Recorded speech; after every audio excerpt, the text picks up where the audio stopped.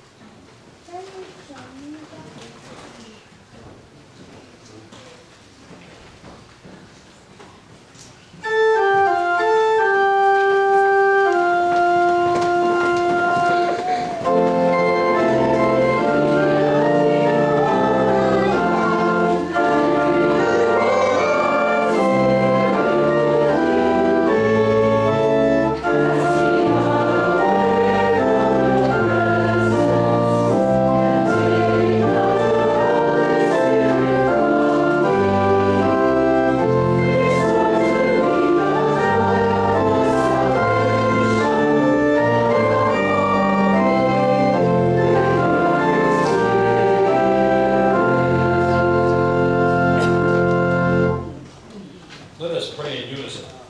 God of abundance, we bring before you the precious fruits of your creation, and with them